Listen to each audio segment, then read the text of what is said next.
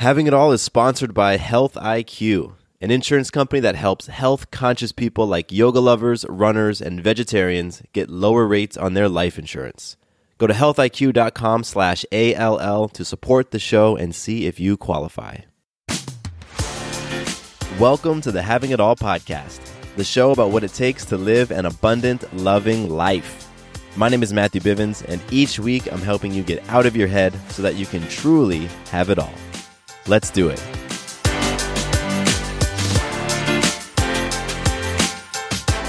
What's going on, everybody? Matthew Bivens here, and welcome to the podcast. I'm psyched that you're hanging out with me today, and I think I'm I'm extra pumped up on this one because we're talking about race. Specifically, I'm going to be diving into my experience of being biracial. And you might be asking yourself, what the heck does that have to do with having it all and living an abundant, loving life? Well, I think that race can play a very large part in how we self identify. You know, I think, at least for me, it's impacted the stories that I that I say about myself and other people. It's impacted my self worth conversation. And all of those things have influenced how I experience life. And at times, not experiencing life as abundant or as very loving. And at times, not feeling abundant or loving myself, particularly towards people of my own race or different races.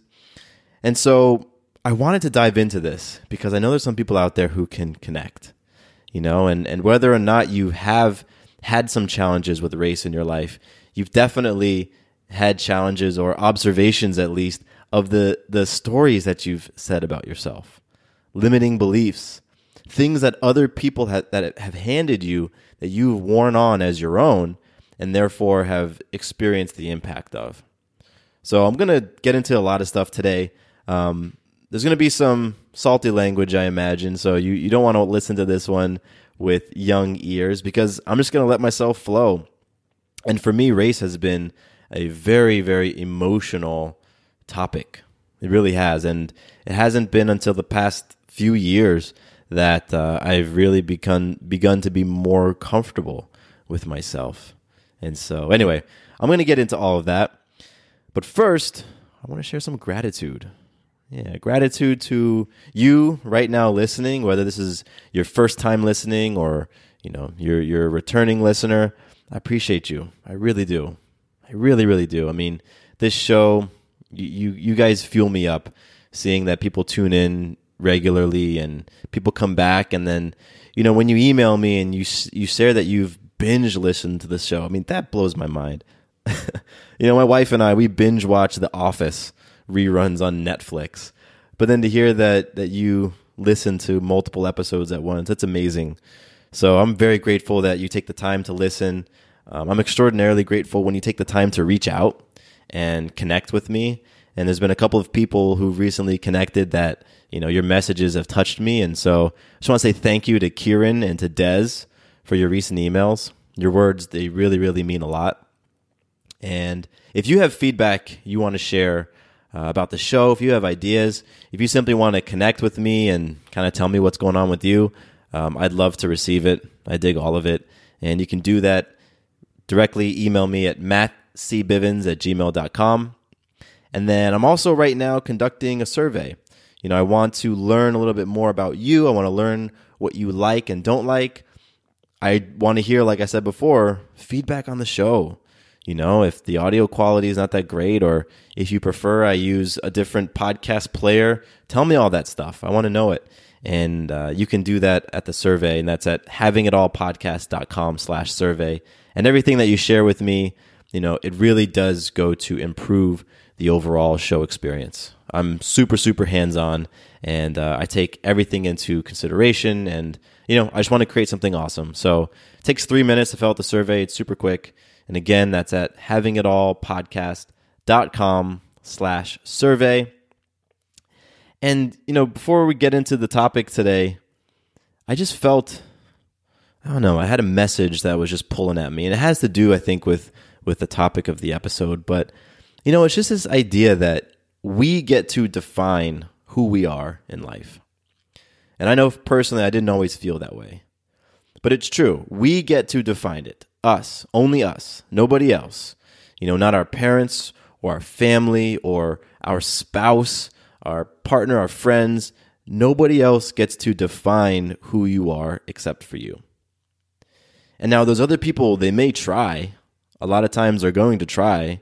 Parents are going to try to, you know, hand down labels, or that your you know, friends or peers might try to put you in a box might try to put you in a nice, neat little box with a category on it and say, this is who you are. And I think part of that is just human nature. We, we like things to be organized. We like being able to describe things in that categorical manner, but it doesn't have to be you. What people say about you does not have to be how you talk and think and feel about yourself. You know, this is your life, it's your story. It's yours to design, it's yours to tell. You are the one with the power. You really are. And I just felt moved to share that message because I don't know what how things would have been different for me had I heard that message and believed that message when I was younger. So, right now, we're going to take a quick sponsor break and then we're going to dive into today's topic. When was the last time you were rewarded for making healthy choices in your life? Health IQ provides life insurance for health conscious individuals like you and I, and they believe that we should reap the benefits from healthy living. Just like saving money on your car insurance for being a safe driver, Health IQ saves you money on your life insurance for living a health conscious lifestyle. They use science and data to secure lower rates on life insurance for health conscious people like runners, cyclists, vegetarians, and yoga lovers. 56% of Health IQ customers save anywhere between 4 and 33% on their life insurance. And these savings are exclusive to Health IQ. Now, when Sarah and I were recently shopping for our life insurance, we would have loved to have saved some money thanks to our lifestyle. Well, now you can. To see if you qualify, get your free quote today at healthiq.com slash all or mention the promo code all when you talk to your Health IQ agent.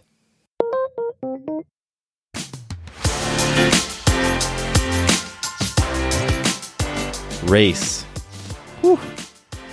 It's funny. There was a part of me that thought, mm, "You get into race, this could be pretty. This could be pretty loaded, pretty heavy." And of course, I realized that's when I needed to do it. Absolutely. And I could dedicate multiple episodes to talking about race, and, and there's people who've done research and written essays and who have very strong opinions on it and all that great stuff. And um, it's out there, and I'll probably check some of it out myself. Today, I'm really not trying to, I don't know, I'm not trying to guide you in any specific direction. I'm not trying to give you any processes. What I want to do is tell my story, tell my experience with race, and share how it's impacted so many different areas of my life. Some for, you know, in great ways and others in not so great ways. And I'm going to be connecting it with this idea of of how we view ourselves, you know, and and the things that we make true about ourselves, and how that impacts our ability to create and experience an abundant, loving life. And so, where I want to start is right now, I live in Atlanta, but I was born in Southern California. I was born in this town just above San Diego called Del Mar. And Del Mar is known for a horse racing track and a really great annual fair and just very beautiful beaches. And so I grew up as a beach kid. My family would, you know, hit the beach multiple times a week, and my friends and I would boogie board and do all sorts of stuff. And uh, I went to a private school out there, a private elementary school, and I lived in Del Mar until I was nine. And I remember my time in Del Mar, you know, I mean, granted, I probably only remember four or five of those years because I was so young, but I just remember it as just like fun. You know, a lot of time spent outside, a lot of time playing with my friends. I had a diverse group of friends, and I just remember it being very carefree and um, feel very blessed. I feel very blessed to have that sort of experience. And I, I, looking back now, I wasn't aware of race. I, that wasn't in my that that wasn't in my my my my vision, my I don't know. I wasn't thinking about it, any of that stuff. Um, I had friends of all different races. I had Indian friends, Chinese friends, Mexican friends. I had biracial friends, white, black, and yeah. So I just wasn't really thinking about people being in those different boxes. Fast forward to me being nine, and I moved out to the suburbs of Atlanta, and that was the first time when I was asked the question, "What are you?" I remember being nine years old at a brand new elementary school. And I think I'd been there for a few weeks, and we moved over spring break. So there was only a couple months left in the school year. So I felt super awkward. And I remember some of those kids, it was a much less diverse school. It was basically white and black at this school that I went to. And I remember kids asking me, What are you? And I didn't know how to answer that question. I didn't really know what they meant. But I soon came to realize they were talking about my my race, my background, and I would say my mom's black, my dad's white, because I I didn't have a word for it. I, I didn't know biracial or or mulatto, and I don't. I have never really enjoyed that word, but I didn't know how to describe myself, so I'd say my mom's white, my dad's black, and then it would be like, oh, okay, and that was it was very interesting what being asked that question did for me because the way people would ask that question it was as if I did something wrong.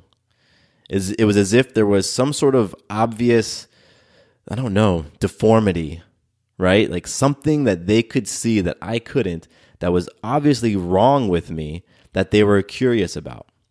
And from that moment, I remember, you know, being around that age, nine, 10 years old, starting to pack on the baggage and starting to build this story that there was something different with me, therefore, there was something wrong with me. And I started to become aware of race. And it's an interesting time because for a long time, I just felt like that was the South. It was the South moving from California to Georgia that, you know, it, it was Southern people had an issue with race, whereas West Coast people didn't. But now, as I as I get older, I'm realizing that that was my level of consciousness and awareness. My experience was the kids I grew up with just were not aware the same way I wasn't. And as I got older, kids became more and more aware, and therefore they started asking those questions. So I, you know, I continue going through elementary school and middle school, and again, I'm becoming more and more aware of people's questions, people's glances, and I'm also becoming more aware of the segregation that happens with friend groups in school. You know, like in my middle school, there was the black crowd, there was the white crowd, there was the Latin crowd, there was the Asian crowd. Like it, it totally separated into those classic cliques that we're all used to from TVs and movies. And here I was feeling in between, feeling like I was too light for the black crowd, I was too dark for the white crowd, and I didn't fit in anywhere else. And I started to also notice people's looks and questions when I was out with my mom. And I think this is where I started to form this idea that the white part of me was the area to be ashamed of because I remember going out with my mom and I'd be with my sisters. I have I have two sisters and all of us are varying shades of brown. I think I, I kind of am somewhere in the middle. But my sisters and I, we all can get tan very easily. So in the summertime, we would be super dark. In the wintertime, we would be a little bit lighter. But we, my mom, she has an Irish background. My mom is like fair skinned, freckles, and she used to, to color her hair kind of like this reddish, I don't know, burgundy type color. So here's my redheaded mom with freckles with three brown kids. And I remember being in a grocery store and Ah, man, this is such an interesting memory. I'm at the grocery store. My mom is checking out. She's putting things on the belt. And I run up to her and I say, Hey, mom, can I get this? And when I said, Hey, mom, the woman at the counter who was ringing things up, like, stopped she stopped and she stared and she gave this incredibly puzzled look like, You're the mom to those kids? And I just saw what I am, am, am I, you know, probably preteen, maybe 12 or 13 year old mind, I perceived judgment. There was judgment. And once again, it reinforced that story that something was wrong with me. Something was wrong with my makeup, was wrong with how I looked. Because here was this stranger throwing some shade at myself and my mom being out in the store together. And it created that feeling, it just it, it strengthened that feeling of separation. And I started to resent my color. I started to resent my mom. I started to become embarrassed, embarrassed by being around my mother. Because when I was around my mother, she was confirming that I wasn't dark enough. You know, it was it was her blood, it was her genes that made me a a, a less whatever I wanted to fill in the blank at the time version of myself. And man, there's this part of me right now that's like, boy, I wonder what my mom will say when she listens to this because I haven't shared that with her. And it's it's not a I'm not proud of the fact that I held that resentment. I don't like that at all because I just remember feeling like embarrassed. And that's just a fascinating thing to feel embarrassed about. You know, and so I'm going to keep circling back to this idea, but let's just all work on creating a little bit more awareness of the stories that other people have given us. Other people handed that story to me that there was something wrong with me because of my skin color. And I wore it on like it was my own. And it created embarrassment within me, it created judgment within me, it created anxiety within me. So I know I'm going off on a on a message tangent right now, but I just want to I just want to say to you listening, what stories have you been replaying that are creating embarrassment, judgment, criticism about yourself or other people? Stories that were handed down by others to you, that because you were young, maybe you were impressionable, whatever it was, you just adopted them and you've just fed them for years. Let's all start being more aware of those. So, back on track. You know, here I am as now a, a preteen, teenage kid, and you know, I'm getting older, and and I'm I'm starting to be more, I'm starting to be more self conscious of my image, of how my peers are viewing me. You know, I I really got hung up on how other people felt about me and what other people thought about me. That was a big thing, and I think I still I still carry that to this day you know that was a big thing that I experienced through middle school and high school. And what happened was I started to behave like other people. I started to do things in order to be accepted. I think a lot of us can can relate to that. But when I was 13, 14, 15, 16, I so wanted to be accepted by the black crowd. I wanted that more than more than anything probably. Just to be viewed as one of one of the guys. You know, because I had my black friends in school. I had my black friends, but I never felt like I was truly accepted by those groups. You know, I, I had I was friends with one or two, and therefore the other five, six, seven, ten would allow me to hang out. And that's kind of how I felt, and I just put myself in this periphery position. I remember when I was in middle school and I started to get notes from a girl, and it was a secret admirer type thing. She'd leave notes in my locker. I had no idea who it was, and it was a week or two went by before I finally she finally revealed herself, and holy shit, she was one of the popular black girls. Oh damn. You know, I remember thinking to myself, "Oh, what?" And at the time, I had created a, a little relationship fling with one of my white friends man, this is another story. I haven't told this to anybody. There was a, a, a girl, and I liked her. I had a crush on her, and we had talked about dating. You know, this is like 12, 13 year old dating, whatever that is. And then this secret admirer, popular black girl, comes along, and she is is is feeling me, and she wants to date. And I remember, and this is what I did. I broke up with my white girlfriend so that I could date the black girl so that I could gain some status in the black crowd.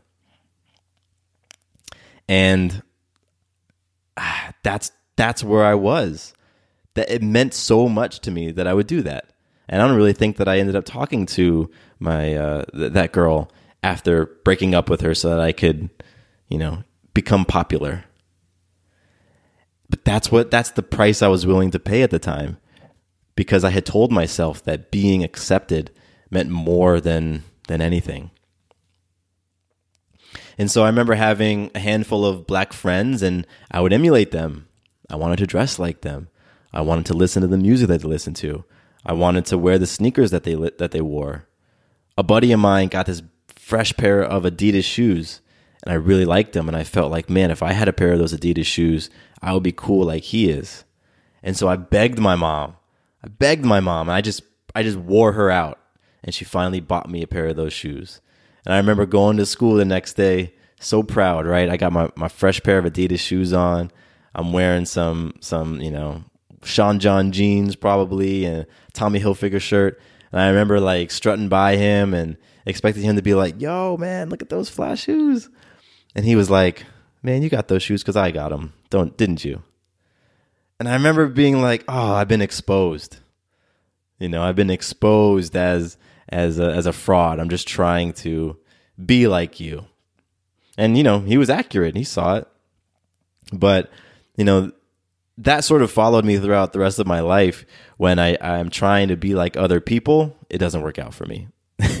That's something that I could, you know, I, I've I've done on this podcast. The episodes where I've listened to some other, you know, person that I that I am that I that I admire and I try to make an episode like theirs, it doesn't work for me. So I guess that's something that I just got to continue working on and repping myself. So, you know, middle school and high school, and here I am emulating others and, and just wanting to be darker, wanting to be accepted, you know, not feeling accepted by either group, the white kids or the black kids. And what was interesting for me is I felt like I literally had a foot in each camp. You know, there was aspects of white culture which I totally identified with. You know, I I one of my favorite bands was Green Day. Growing up in Southern California, that's when Green Day was big and their album Dookie. I loved Green Day. I love listening to No Doubt. I was a big fan of 311. You know, I, I, I enjoyed that type of music. I like rock music. But then at the same time, I also started to to grow more into the hip hop at the time. So I was big into Jay Z and I was big into Nas and I was big into, you know, Puff Daddy and Mase and all them. And like that's, I had a foot in each camp. And my clothing choices were the same way. Sometimes I would dress in, you know, Quiksilver shirts. Other times I'd be rocking the Sean John. And I just, I never really gave myself an opportunity to find myself because I was so caught up in doing things for the approval of other people. So I never really gave myself a chance to just to think about and discover what is Matthew like. And be comfortable with that. And not label the things that I liked or the people that I admired or the media that I enjoyed as black or white. Because I would label it that way. Even the food I would eat, I would say, oh, this is a white meal. Oh, this is a black meal oh, I better enjoy eating Popeye's chicken because that's what my black friends like eating. Oh, you know, I shouldn't enjoy taco night at my house because that's probably what white people eat. Like that sort of conversation was going on in my head. Again, handed down from other people. I just wore it on as my own. I just wore it. And the story that I just kept reinforcing again and again from that nine year old all the way into my 20s was that I'm not black enough. And if you remove the black part of that, the real message was I'm not enough. I'm not enough. And so everything that I was doing from those early ages on, everything I was doing was trying to fill that gap that I had created within me that was saying I am not enough.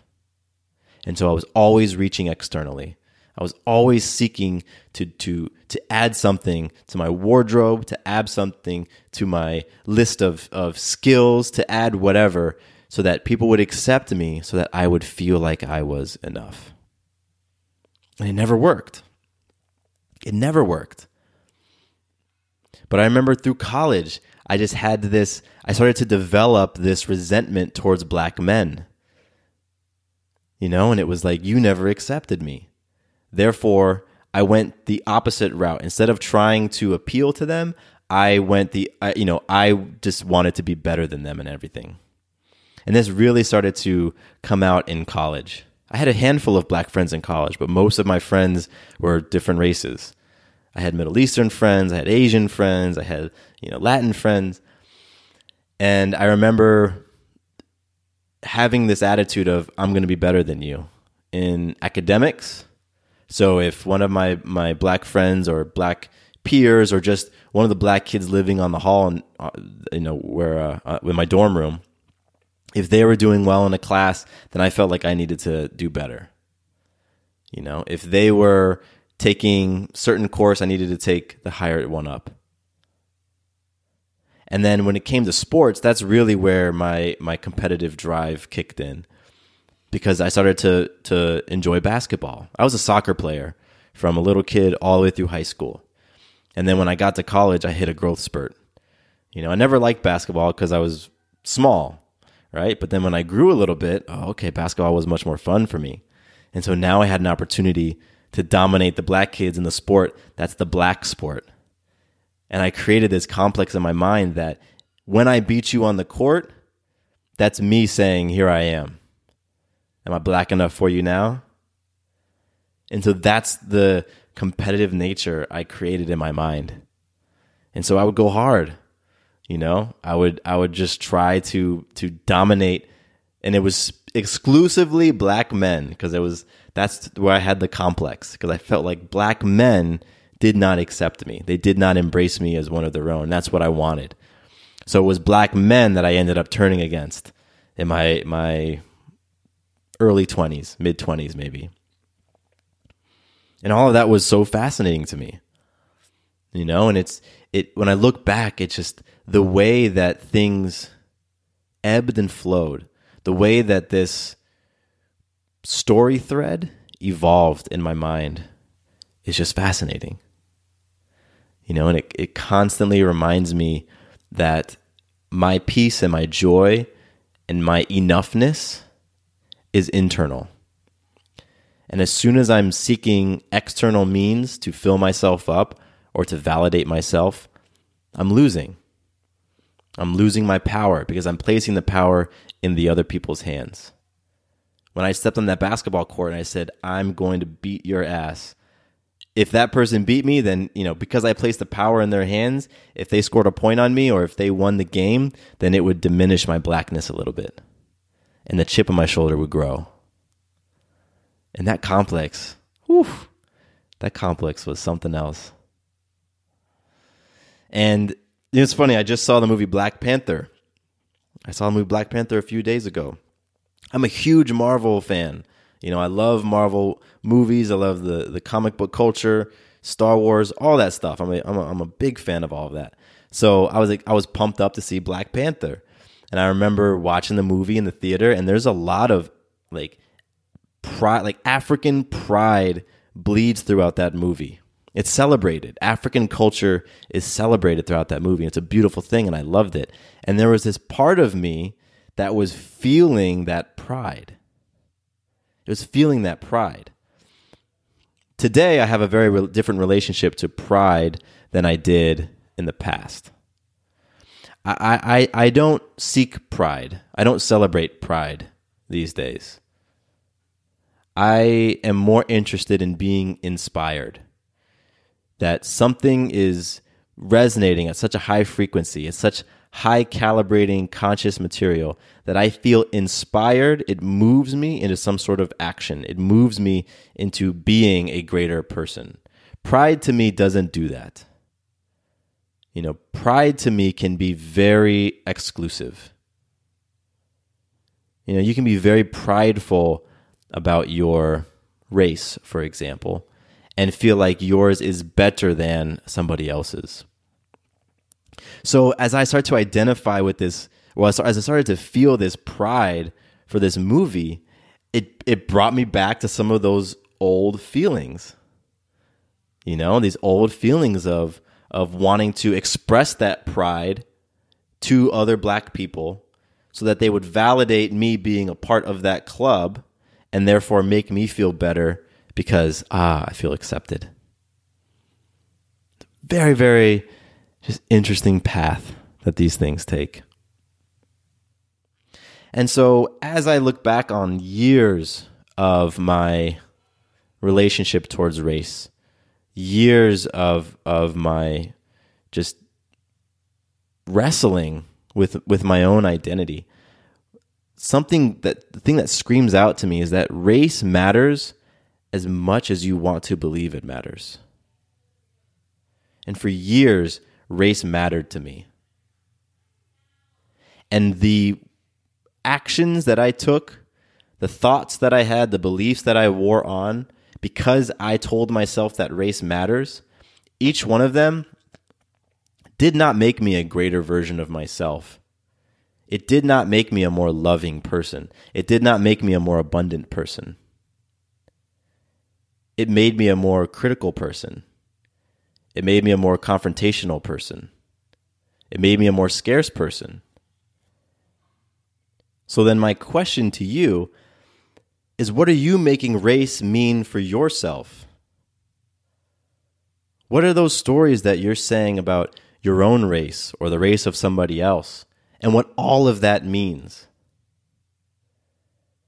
You know, I'm not ignorant to the fact that there is race, right? I'm not ignorant to that at all. Where I want to, at least for myself, and this is going to resonate with some folks, it may not with others. I view race as simply the the the the the, the different patches that make up this amazing quilt of life of the human experience. You know, we're all the same matter. we just have slightly different looks to us. There's just variety. Race is variety. And it gets so tricky to me being somebody of two different races. It gets so tricky to me when there are conversations about one race being more superior than another. And I think that's obvious. You know, you get that. But like here we are, I've got I married a white woman. Sarah's white.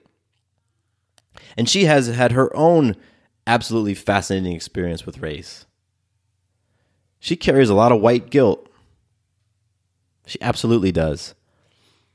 And we were talking about this, I think, before or after seeing Black Panther. There is a part of her that feels badly about mixing her blood with my blood because some part of her feels like she's diluting my blackness. She's diluting the the pool of of universal blackness for all humanity by mixing her blood in. And therefore our daughter, who is now one quarter black, like there it means something now. Can you like can you wrap your head around that? I mean, I have had some absurd beliefs about race and ideas about race. You know? And here I am, a biracial person. You might say, well, you maybe you have have a reason to. I was not familiar with white guilt until speaking to Sarah. And I'm like, wow, that's fascinating. That that blows my mind. And so, you know, I'm a man who's raising a a child, a mixed race child who 90% of the world is going to view her as white. What am I going to make that mean? What am I going to pass down to her? Maybe consciously, maybe there's things that I'm I'm telling her about herself that I'm aware of, or maybe it's just subconscious that I'm not aware of. Maybe there's those things that are still within me that I haven't healed and I'm going to be passing them down to her. That's why, for me, it's so important for me to take a really deep look at myself, at my relationship towards my race and race in general, at those areas of myself that I have not yet healed, that I have not yet explored, that I've been too afraid to explore, that I've been too afraid to talk about, that I've been too afraid to share with others. It is so important for me as a father of a mixed race little girl who's going to grow up with the stories and the beliefs and the identity that I'm going to help hand down to her. It is so important that I'm doing this work on myself because right now she's a blank canvas. And what happened to me is the same thing that happened to you, the same thing that happens to all of us, and the same thing that a lot of us are doing to others. We're handing down our fears to the next generation, handing down our judgments, handing down our identity issues, handing down our self worth issues, because we haven't addressed them and healed them within ourselves. And so I hope and I do believe there's a lot of folks out here who are connecting with me right now as I share this message. But I'll be honest, a lot of this is for me. A lot of this right now is me working on exploring those areas of myself that I have not yet healed around my race and around my own identity. Because Maya is, she's perfect right now. And you know, I, I'm I understand that there's going to be things that I hand down to her that I don't mean to, and I don't expect myself to heal every single aspect, every limiting belief, every you know every little ounce of of self criticism or doubts. I don't expect myself to to get over all of that and to change all of that. that I think that's unrealistic. However, if there are areas where it's glaringly obvious that I am still holding on to some sort of attachment, still playing in fear. That's what I want to be able to be aware of and address. Because a lot of my experience when I was growing up, it was not a fun one around race, specifically around race. I, I, had, a, I had a great upbringing. But that conversation, that topic to me was a sensitive one. And it still is, man. You know, there's there's times like let's say I'll be at if I'm in a group of people and I'm the only, I'll just, you know, for the, for the purpose of this story, I'm going to call myself black. If I'm in a group of people and I'm the only black person, there's a part of me that's expecting and anticipating someone to say nigger.